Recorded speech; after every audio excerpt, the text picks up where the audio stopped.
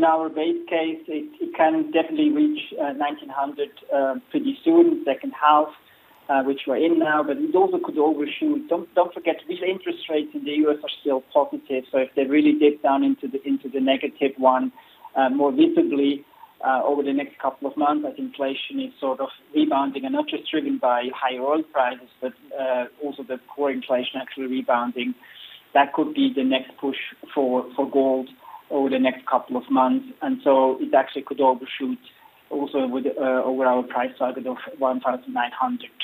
Um, and I think gold, uh, from a portfolio perspective, is really interesting because it's sort of it's a good inflation hedge it's a hedge of uh, central banks printing too much money, but it's also an interesting hedge for some of the risks that we still see if it's second wave, if it's uh, the fiscal cliff that you have talked before. And so it actually could also provide some of the downside protection if there's some short-term um, rebound or basically some short-term correction in the markets. And therefore, from a portfolio perspective, gold has really interesting features and it should be actually holding every portfolio currently. I understand the inflation hedge strategy with regards to gold, but you know many skeptics would argue, well, where is inflation? It hasn't uh, pretty much uh, bobbed its head or reared its ugly head in the last 10 years, and so the visibility on that seems to be a bit unclear. Sure, we definitely have a lot of excess capacity at the moment. Uh, we still have too much in inventories actually uh, over the next couple of months that has to be materialized.